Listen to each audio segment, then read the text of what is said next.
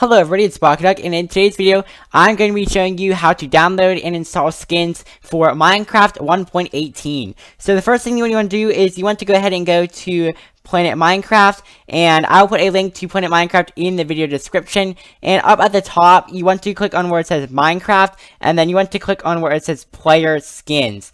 And so once you click on player skins, it will go ahead and load up all of the Minecraft skins that are available. And you can choose whatever Minecraft skin that you'd like. And so we will just pick this one right here.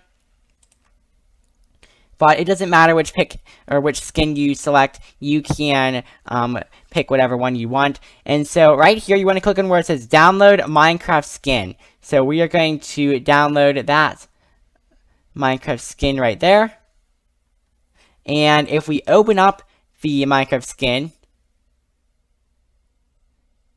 then you can see that it looks like the default Minecraft skin file. And you want to make sure that it looks kind of jumbled like this because that is what the basic Minecraft skin file looks like. So after that, you make sure that the um, download skin is in the right format. You can actually close out of Planet Minecraft and you can pretty much close out of everything and just open up Minecraft Java Edition. So whenever Minecraft Java Edition is open, the first thing you want to do is make sure that the latest release 1.18 is selected. And once you do that, you can go to the skins tab up at the top and it will show all of the skins that you have. So go ahead and click on where it says plus new skin and then you can name your skin whatever you want. We'll just name it test and now we are going to browse our skin file. So you want to click on that browse button and then go to wherever you put your skin file. I just left mine straight in the downloads folder. And so as you can see right here, the skin is selected. And if we hold down the left click button, we can rotate the skin around and you can see all of the different parts of the Minecraft skin. And you can also choose if you want your skin to have any capes, and we'll just give it the Migrator cape because it looks cool.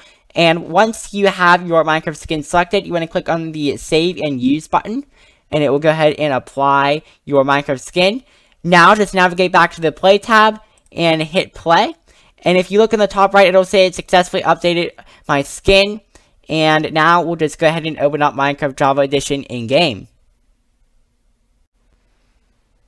Alright everybody, and as you can see, I am in-game and my skin looks completely different, and if you look on the um, back, you can even see the migrator cape that I put on, and so that's pretty much all you have to do in order to download install and use your skin in Minecraft 1.18. I hope you enjoyed the video. If you did, please consider subscribing and sharing this video with your friends. Thanks for watching, and have a great day.